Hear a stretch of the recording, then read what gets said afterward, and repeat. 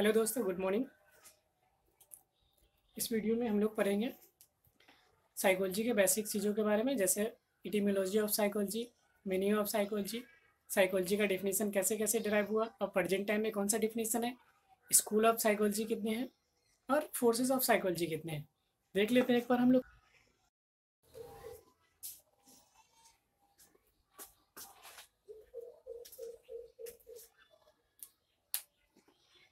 General भाषा में हम बात करेंगे तो साइकोलॉजी का मतलब होता है ह्यूमन बींग्स को समझना ह्यूमंस को समझना। अब देखते हैं टर्म पे। साइकोलॉजी टर्म जो है वो सब first of all Rudolf Gockel ने 1590 में दिया था। ओके देन इसके मीनिंग इटिमोलॉजी पे आते हैं। साइकोलॉजी के इटिमोलॉजी साइकोलॉजी टर्म जो है वो ग्रीक टर्म से आया है। ग्रीक दो टर्म है साइकी एंड लोगस साइकी का मतलब होता है सोल एंड लोगस का मतलब होता है स्टडी देन अगर इसको हम कंबाइन कर दे तो ये होगा psychology is the study of soul study of soul initially psychology psychology जो था, उसे स्टडी ऑफ़ सोल कहा जाता था सोल का अध्ययन कहा जाता था. At the time of Plato and Aristotle then उसके बाद seventeen to eighteen century psychology को जो डिफाइन किया गया psychology is the study of mind psychology is the study of mind मतलब माइंड के अध्ययन को साइकोलॉजी कहा गया। कौन कौन से साइकोलॉजिस्ट थे जो इस डेफिनेशन के समर्थक थे या डिफाइन किए थे? जॉन लो होप्स और इमेन्युअल कांत ये सब साइकोलॉजिस्ट थे या यूँ समझो कि फिलोसफर थे। इन लोगों ने साइकोलॉजी को माना। Psychology is the study of mind philosopher मैं इसलिए कह रहा हूँ क्योंकि इस टाइम तक साइकोलॉजी कोई अलग डिसिप्लिन नहीं था फिलोसफी का ही पार्ट था। At the time of John Locke इस समय तक फिलोसफी का ही पार्ट था साइकोलॉजी। साइकोलॉजी एक अलग डिसिप्लिन यहाँ से बनता है। विलियम वुंट के टाइम में साइकोलॉजी अलग डिसिप्लिन बना। विलियम वुड ने साइकोलॉजी को डिफाइन किया। Psychology is the study of mental process psychology क्या है? स्टडी ऑफ़ मेंटल प्रोसेस है। विलियम वुड ने विलियम वुड ने 18 1879 में एक लेबोरेटरी इस्टेब्लिश किया साइकोलॉजिकल लेबोरेटरी लेब्जिंग यूनिवर्सिटी जो कि जर्मनी में है। लेब्जिंग यूनिवर्सिटी में 1879 में एक साइकोलॉजिकल लेबोरेटरी इस्टेब्लिश किया साइकोलॉजी मेंटल प्रोसेस के स्टडी करने के लिए मेंटल प्रोसेस को स्टडी करने के लिए ना, उन्होंने, विलियम वुड ने एक लेबोरेटरी इस्टेब्लिश किया लेब्जिंग यूनिवर्सिटी में। अब लेब्जिंग यूनिवर्सिटी का नाम चेंज हो गया। कार्ल मार्क्स यूनिवर्सिटी कहा जाता है। प्रेजेंट टाइम में कार्ल मार्क्स यूनिवर्सिटी है। और इस मोशन को स्ट्रक्चरलिज्म कहा गया। ध्यान रखेंगे। इस मोशन को क्या कहा गया? स्ट्रक्चरलिज्म मतलब मेंटल माइंड के स्ट्रक्चर को इन्होंने अध्ययन किया किसने? स्टडी किया विलियम वुंट ने। और इस मोशन को कहा गया structuralism okay then 1890s William James William James ने साइकोलॉजी को एक्सप्लेन किया कॉन्शियसनेस के रूप में। On the form of consciousness psychology is the explanation and description of state of consciousness William James ने एक बुक लिखी थी, जिसका नाम है principles of psychology William Wundt ने एक बुक लिखा प्रिंसिपल ऑफ़ साइकोलॉजी उसमें इन्होंने बताया psychology is the study of और एक्सप्लेनेशन और डिस्क्रिप्शन ऑफ़ कॉन्शियसनेस हमारे माइंड या ब्रेन के तीन लेयर होते हैं। Conscious unconscious and sub conscious तो इन्होंने क्या कहा डिस्क्रिप्शन ऑफ़ कॉन्शियसनेस और इस मोशन को कहा गया functionalism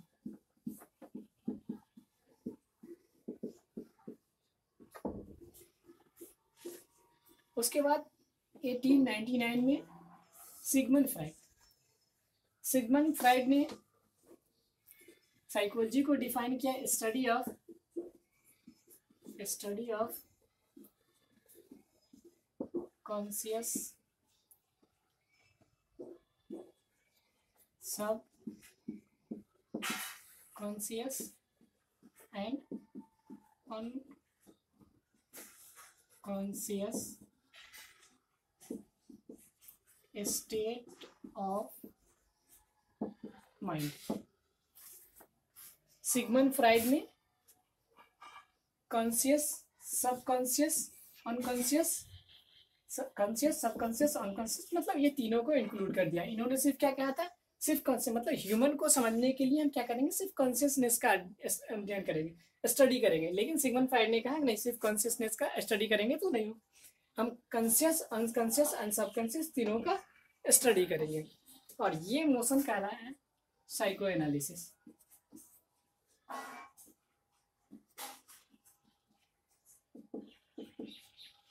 psychoanalysis. Then, next 20th 20th century J.B. J.B. Watson J B Watson ने इस कॉन्शियस अनकॉन्शियस एंड सबकॉन्शियस इसको निगलेक्ट किया इन्होंने कहा कि नहीं, हम ह्यूमन को समझने के लिए या ह्यूमन बींग को समझने के लिए उसके बिहेवियर का अध्ययन करेंगे। किसका अध्ययन करेंगे? बिहेवियर बिहेवियर अर्थात psychology is the study of human behaviour और नेचर ओके फिर से एक बार देखते हैं हम। फ़र्स्ट ऑफ़ ऑल स्टार्टिंग में साइकोलॉजी टर्म जो दिया वो रुडोफ गोलिक ने 1590 ने।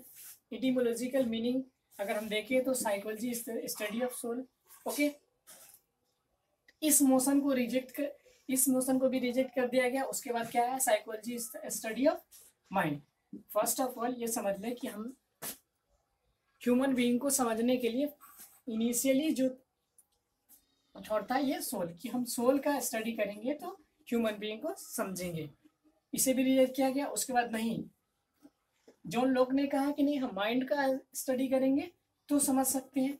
विलियम वुड ने इसे भी निगलेक्ट कर दिया। क्या नहीं माइंड का स्टडी करने से नहीं होगा। हम क्या करेंगे? मेंटल प्रोसेस का अध्ययन करेंगे मतलब मेंटल प्रोसेस को स्टडी करेंगे। और उन्होंने इसलिए एक लेबोरेटरी भी इस्टेब्लिश किया लेबजिंग और इन्हें हाँ एक बात और ध्यान विलियम वुड्स को एक्सपेरिमेंटल साइकोलॉजी का फादर भी कहा जाता है। मेंटल प्रोसेस को। अब विलियम जेम्स ने कहा, नहीं मेंटल प्रोसेस का स्टडी नहीं करेंगे। हम क्या करेंगे? कॉन्सियसनेस का स्टडी करेंगे। ह्यूमन माइंड के किसका अध्ययन करेंगे? कॉन्सियसनेस का अध्ययन करेंगे। तो अब माइंड के तीन लेयर होते हैं कॉन्शियस सबकॉन्शियस और अनकॉन्शियस देन सिगमन फ्राइड ने इस इस नोशन को भी निगलेक्ट कर दिया सिगमन फ्राइड ने कहा, क्या स्टडी ऑफ़ कॉन्शियस सबकॉन्शियस और अनकॉन्शियस तीनों को स्टडी करेंगे? देन ट्वेंटी सेंचुरी में जे बी वाटसन वाटसन आते हैं और इन्होंने कहा इन्होंने कहा कि नहीं, हम कॉन्शियस सबकॉन्शियस और अनकॉन्शियस को स्टडी नहीं करेंगे, इससे हम ह्यूमन को ह्यूमन की एक्टिविटी को ह्यूमंस को नहीं समझ सकते। ह्यूमंस को समझने के लिए क्या करेंगे? उसके बिहेवियर का अध्ययन करेंगे।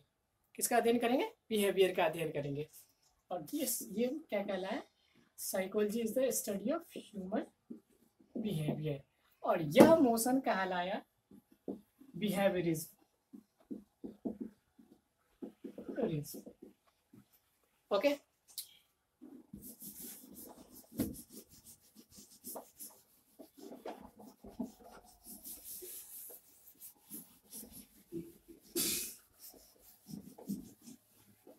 एक बार हम शॉर्ट में देख लेते हैं। फ़र्स्ट पहले हम क्या करेंगे? स्टडी सबसे पहले study of soul then study of mind then study of mental process then study of conscious consciousness then study of conscious subconscious and unconscious yes and at last a study of human behavior and this is the modern definition. Psychology is the study of human behavior. Okay?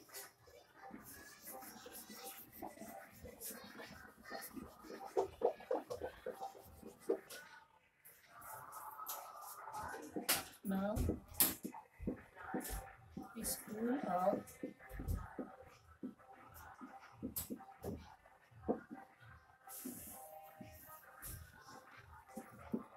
पहला school जो है structuralism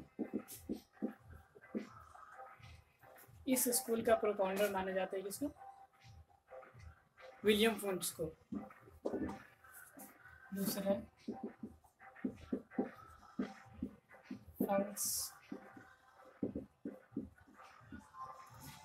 structuralism हम लोग mind के structure का अध्ययन करते हैं। माइंड के क्या करते हैं? स्ट्रक्चर का अध्ययन करते हैं। फंक्शनलिज्म में फंक्शनलिज्म क्या है? Biological biological study of mind biological study of mind और फ़ंक्शन ऑफ़ माइंड ये जेम्स ने दिया था। विलियम जेम्स एंड थर्ड आता है। Psycho analysis Sigmund Freud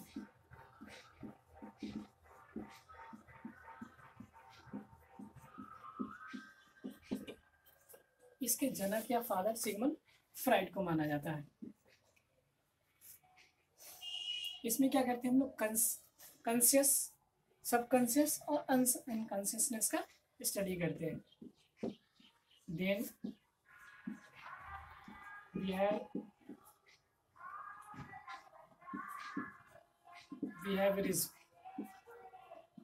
human behaviour का स्टडी करते हैं इसमें हम लोग।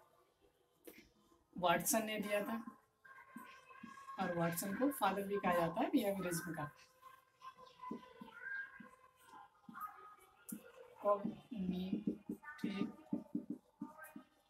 नेक्स्ट स्कूल ऑफ़ साइकोलॉजी जो है वो कॉग्निटिव जेन पियाजे ने दिया था इसको। इसमें हम लोग कॉग्नेटिव डेवलपमेंट के बारे में स्टडी करते हैं। नेक्स्ट है ह्यूमनिज्म या ह्यूमनिस्टिक साइकोलॉजी ह्यूमनिज्म या ह्यूमनिस्टिक साइकोलॉजी इसके प्रोपाउंडर है। Carl Rogers Carl Bolzer and Maslow. Abraham Maslow. And next next आता है फॉर्मिक साइकोलॉजी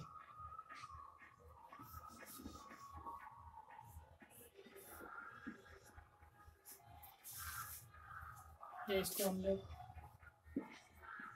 पारा psychology parasite gestaltism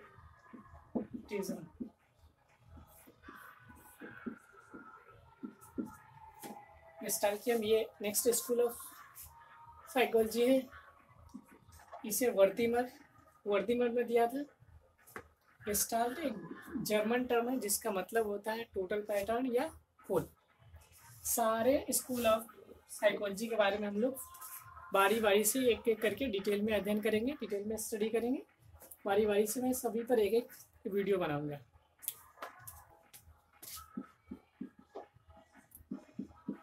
Courses of psychology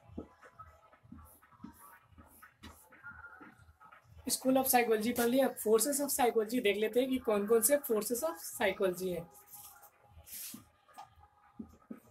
first forces of psychology जो है, वो psychoanalysis psychoanalysis Sigmund Freud ने जो दिया था, उसको हम लोग क्या कहते हैं? फ़र्स्ट फोर्स ऑफ़ साइकोलॉजी मानते हैं। And next forces of force of psychology जो है बिहेवियरिज्म